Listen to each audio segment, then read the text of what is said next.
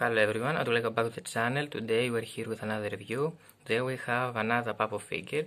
It's the King Cobra and as you can see right here on the catalog it is his product code is 50164. I'm looking forward for the Anaconda to be get released and I would like to see Papo producing more snake figures such as boa or black mamba. Let's have a closer look on the figure. You can see right here the Papo label for ages 3 and up. I don't really like to keep the labels attached on my figures.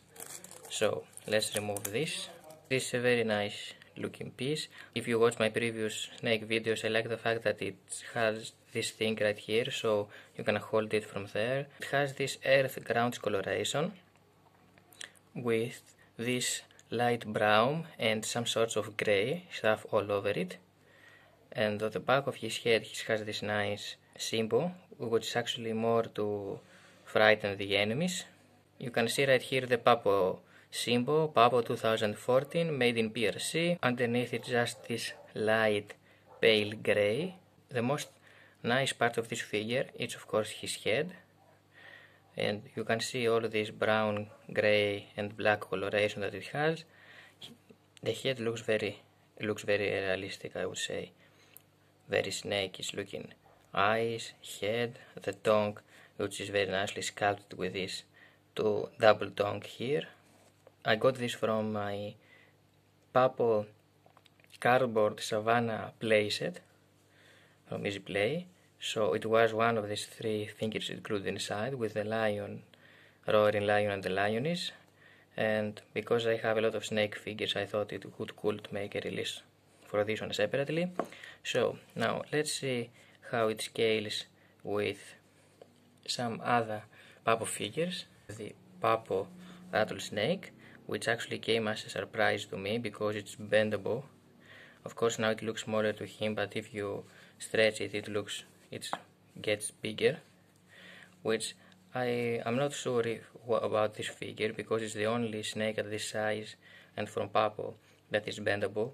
I have all the snakes from, I have other snakes from Bullyland, Safari, Collecta, Schleich, and none of them is bendy. So it, with this kind of bend wire inside you can get a lot of poses. It, it has so many articulations, but yeah, it's just me. I would like to be a more, you know, steady piece to be able to place it somewhere, but of course you can make some different positions with this and I'm very impressed with that Papo.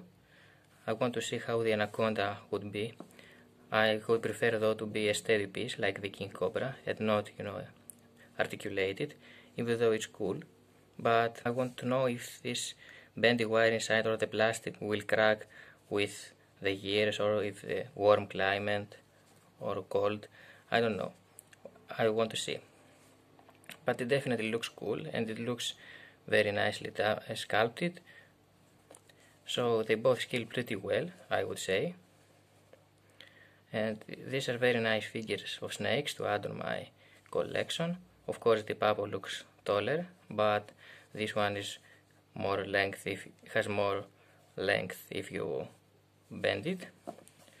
And let's have him next to some other King Cobra figures. For example, this one, the Schleich one, which is the from Schleich, Schleich, snakes are from the smaller, smaller in size snakes that I have. They have pretty much the same pose, but yeah, it's up to you what you decide the most. They have pretty similar sculptured size, very nice cobra figures. And there you also have it next to the Bullyland Cobra, which actually, like I have said in my previous videos, Cobra Bullyland figures are mostly for kids.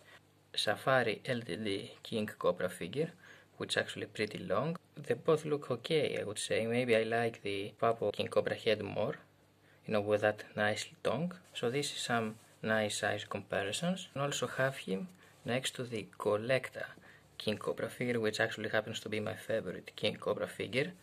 It's very hard plastic. You cannot even. Uh, it's very hard to bend it, so it definitely looks very nice.